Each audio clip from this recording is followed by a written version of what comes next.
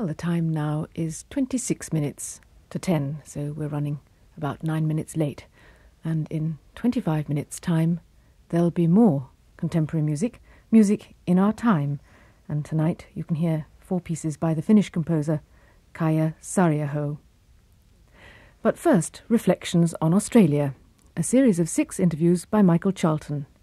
Programme 6 Dame Elisabeth Murdoch. Like Madagascar and the seas about, which yielded up the famous coelacanth, that Darwinian fish which had been thought extinct, Australia has proved itself the home of dynasties of successful lords of the press, Citizen Kanes and Lord Coppers, who elsewhere have lost the struggle for survival. Dame Elisabeth Murdoch is the wife of the late Sir Keith Murdoch, whose dispatches from Gallipoli in the First World War were instrumental in changing the course of the Dardanelles campaign, and who went on to found a press empire in Melbourne. And she is the mother of Rupert Murdoch, who now bestrides the universe of communications and who accumulates newspapers and television stations as successfully and invincibly as the great Don Bradman once made runs. In the avowedly masculine Australian society, Elisabeth Murdoch is a matriarch. Few doubt that her virtues and values had a very considerable influence on the lives of two men who have in turn influenced the opinion and swayed the judgment of two generations. Dame Elisabeth is now 80 and has been a vigorous patron of charities and of Australian art and artists. Dame Elisabeth, I have in mind a particular painting by a particular Australian artist, Russell Drysdale, which he called The Drover's Wife. And it shows um, a heroic, mothering, proletarian figure in a harsh and, and, and, very uninviting wilderness. And I wonder if you would reflect uh, on that strong and, and, lonely figure and what it suggests, or s- should suggest, about the contribution of women in Australia to the Australian achievement. Well, I think that I would be rather presumptuous, perhaps, to interpret what Tass Drysdale meant by that picture, but having learned a good deal about him, uh, I do think that he was tremendously taken by the outback and what it had meant, particularly to women, because so many of his pictures portray this loneliness and courage and isolation. And I'm sure that that had a great bearing on the development of this country. That courage of those women, of course, their men were adventurous and courageous, but it did really come back to the woman who kept the family going.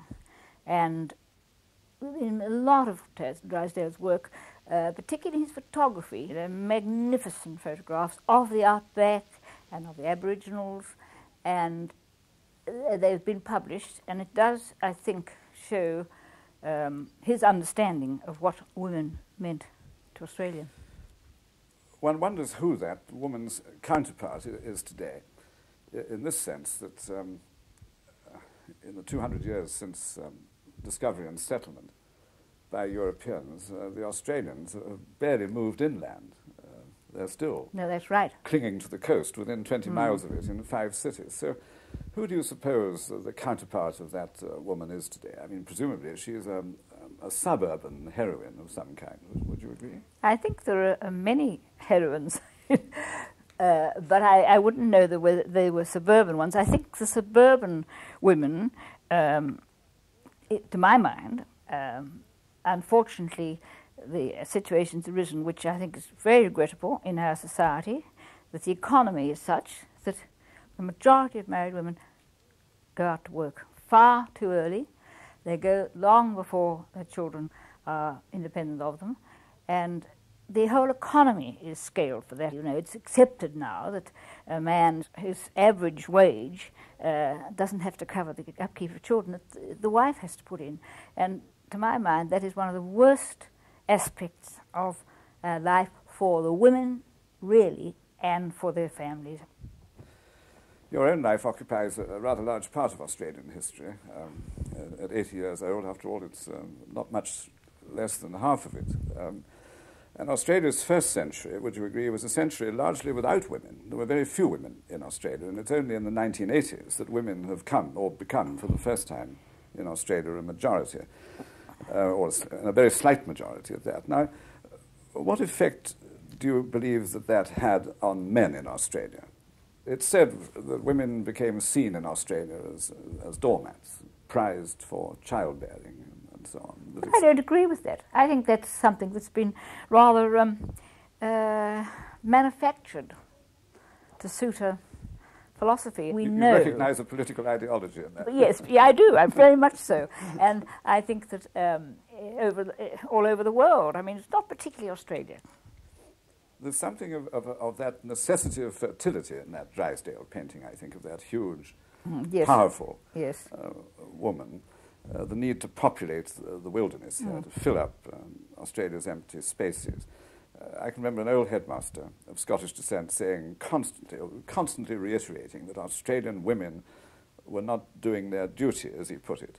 uh, now, the limitation of family in, in, um, until quite recent times was seen as something decadent here, a selfish phenomenon. Um, do you think that that has added to the strain of women in Australia? Well, I myself would like to see them having larger families, but um, you know, there's not much incentive. The government, I don't care which government, I'm not talking politically, but governments have not seemed to me supported those women who want to stay at home. There's no incentive or there's no help and encouragement. I think the young mothers uh, of good intentions and good character and, and uh, every potential to have good families, good Australians, they, I find it extremely difficult because that is the section of the community which is not being helped. The lone parents are being helped, the unmarried mothers are being helped. This is felt quite keenly by people who are married and struggling and women who are trying to stay at home and bring up their children. It's just very difficult for them in the present economic climate. In his um, work of such great insight into the American uh, culture and the nature of it, uh, Tocqueville said, if I were asked now that I'm drawing to the close of this work, in which I've spoken of so many important things done by the Americans, to what the singular prosperity and growing strength of their people ought mainly to be attributed, I should reply to the superiority of their women. Uh, might he have been able to say um, much the same thing about Australia had he been writing about this country? Goodness knows I'm not a um, a student of history, I don't really think I could give a, a, an authoritative view on that. Um, the country is only as good as its women. Is, is, is, well, my husband always used to say that a country is only as good as its women, but that doesn't mean to say that the men aren't good too. Because after all, the men in this country did have to go out. They had to pioneer. They had to go through great, great hardships, and, and uh, I think it's been a joint thing. Tocqueville's reasons for that. Uh, uh, are important, of course. Um, uh, a point you might like to reflect upon. He felt that there was a special reason for what he called the regularity of American uh, morals. And that reason seemed to him to be, he said, the principle of equality and the institutions derived from it. It swept away all imaginary uh, barriers. In aristocratic societies, men and women uh, brought together mm. by their passions couldn't contract permanent uh, ties. Um, a girl couldn't marry the man she, she loved because no, no, of the no, caste barriers. Yes, that's right. Um, but um, in, in, in, the American democracy, a girl could marry the man of her choice, uh, no matter what. And, and, therefore, breaches of the moral code before marriage were very, were very uncommon. Is that, is that something yes. you recognize as being part of, of the Australia you knew? well, I think in the early days there were, uh, there were uh, many marriages uh, in between the different sections of the community. Yes, I suppose equality has uh, meant a great deal. When you were married to um, uh, Sir Keith Murdoch, who had an, an, an immense influence on Australian taste and, and, standards, you were married by his father, I think. Who, we were, yes, who, indeed, yes. Who was a Presbyterian minister. Mm. And a preacher, it said, of immense moral principle. Now, it's difficult to know at this distance what, what that might have uh, meant. How should one understand that?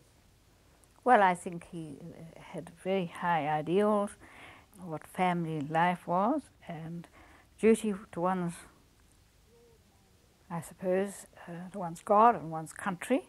He was very broad minded, wise, tolerant, um, and of course, like most Scots, you know, he was a good scholar. The Scottish great ideal, of course, is education. His father before him was a, was a minister. Biographers um, of the Murdoch family say that his sermons are still remembered here in Melbourne. Um, yes, well, I can think you say for what? For their style or their content? No, I don't think that he was at all oratorical. I mean, I don't think he was um, a, a, dazzling speaker, but I think the content was so good, and, and I'm sure suited his Presbyterian congregation. But Incidentally, I think Nellie Melba was at your, at your wedding. Yes, she was, yes. Raised her voice very handsomely, too. Can't remember the hymns, I'm ashamed to say, but she was really very helpful in leading the volume of voice. But uh, I was only 19, you know. Looking back on it, I, I was amazed that I had the cheek to think that I could ever be adequate, you know. But there you are, you're young and you're confident and well, you're you, you, weren't any, you weren't any young, you were a child bride, really, weren't you? Well, I suppose uh, that was known as a child bride. but this period marks some very important uh, points of departure from Australia's parental origins. Uh, mm. Would you agree that uh, Gallipoli, as you settled down to married life in the mm. 20s, had, had made Australia a, a, a nation? Um, and Keith Murdoch was foremost among those who had seen to it that that would be so. Um, yes, but he was very nationalistic, I would say, and ambitious for Australia on the highest possible level, having been through that uh, frightful times. I'm sure that what we say engendered in him a you know, determination that he was going to serve his country as best he could with his pen, and had a very high ideal of what journalists should be and do. And I think he was a person who was very um, he was very sensitive but what lay at the core of that uh, surge of Australian national feeling that he promoted? I mean, was it that Australia, Australia, was going to be a different kind of country, a special kind of, of place? I mean, what, do, what determined you and him uh, in what was virtually a new world for Australia in the 1920s? What was going to mark it apart? Well, I suppose he felt perhaps it was had to come of age and stand on its own feet, perhaps rather more than it had, but still with this link there is, as you know, quite a feeling uh, in this country that republic will come. And I think when you see in recent years how the Anglo Saxon uh, strain will be weakened and all these migrants come, how can you expect them to have any feeling for generation or two for the monarchy? They really, it doesn't mean anything to them. And I think that, uh, sad to say for us people who have have, know the values. I mean, we may know the faults, we may know the difficulties and weaknesses, but on the whole, many Australians still feel a loyalty to the monarchy, and with all its ups and downs, would like to think that that is something which will go on, but it won't. But I, I, I would just to know whether, whether you and Keith Murdoch uh, felt in the 20s that you were setting Australia or wished to see it set on some sort of idealistic path as an ideal republic in the Southern Oceans. No, I never thought about a republic uh, in, in, those days. In fact, um, I find it hard to think about it now, but I think one has to be realistic that eventually possibly will come. Uh, whether it's desirable or not, I don't know, but I think it's probably inevitable sort of evolution of our development.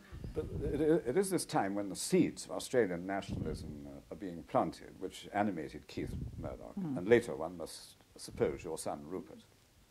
I mean, British stock or, or, or no, mm. it's a time when an important kind of distance is being put between Australia and mm. England mm. in terms of their traditional relationship. Yes. Um, and geographically, we have to remember our position, don't we? We are in the Pacific and we are surrounded by uh, very populous nations all around us.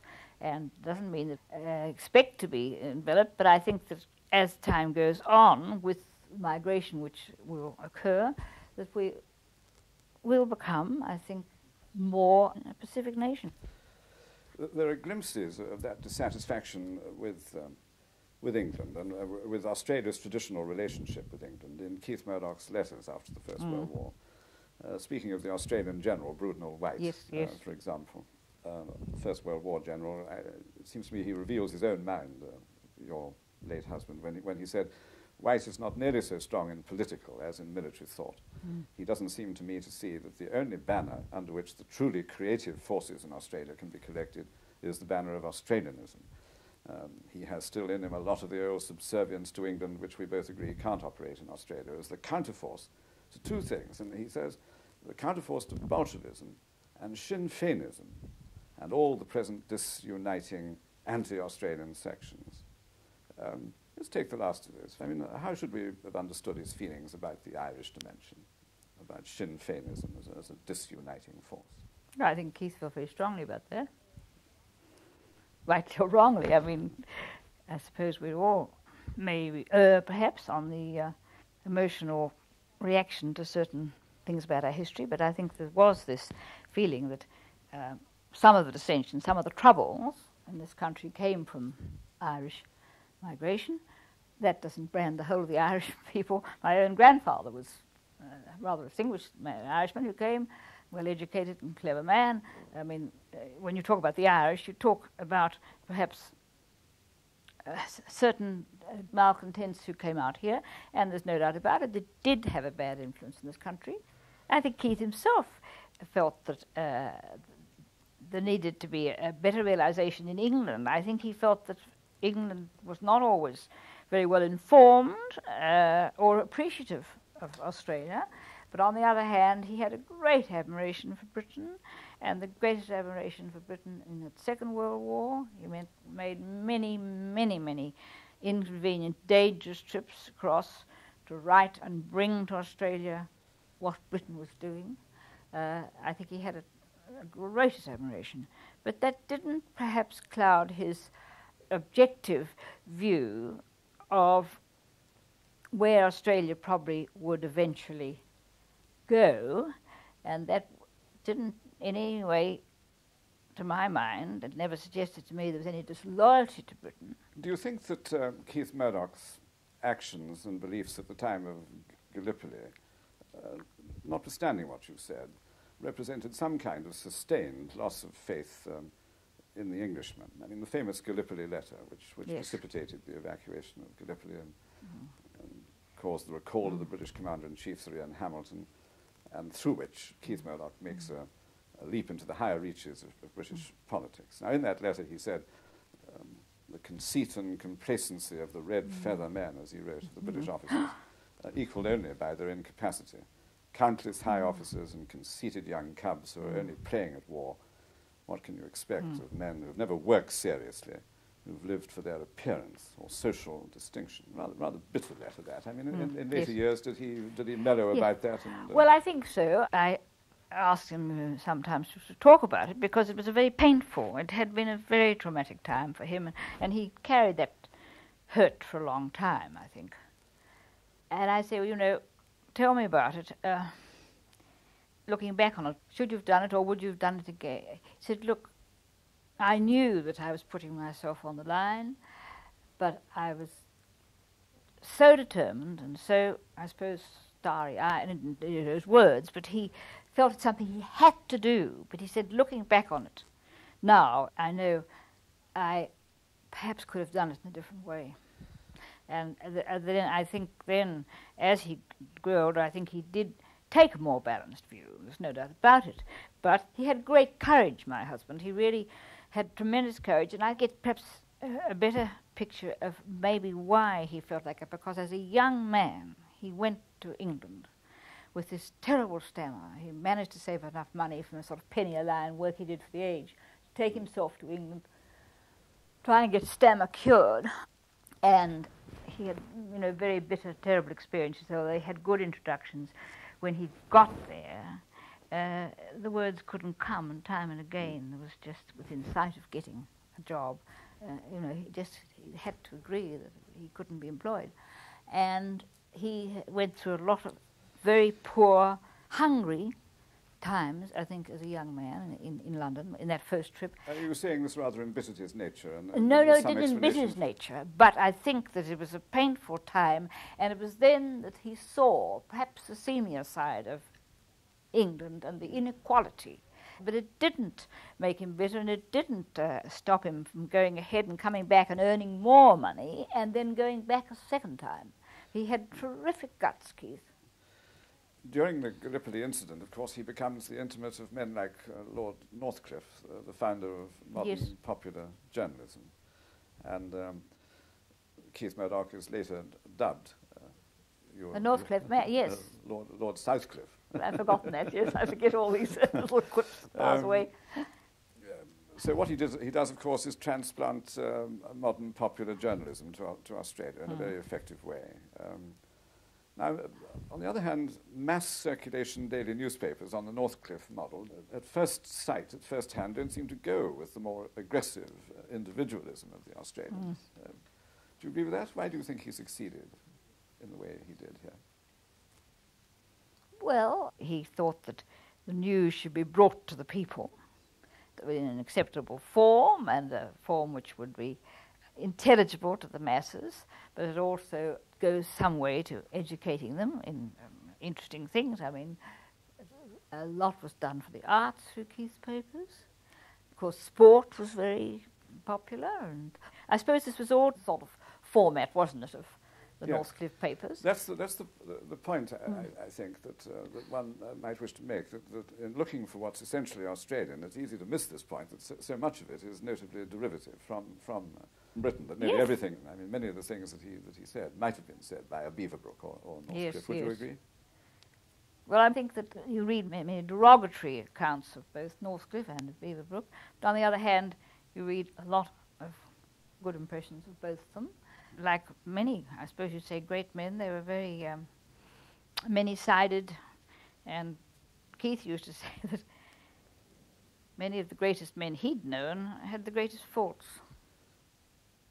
And I think that's probably true.